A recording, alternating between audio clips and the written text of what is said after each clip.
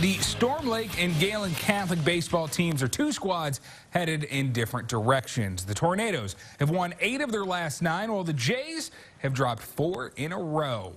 Gehlen hoping home field will help them snap the skid. All those four losses coming on the road.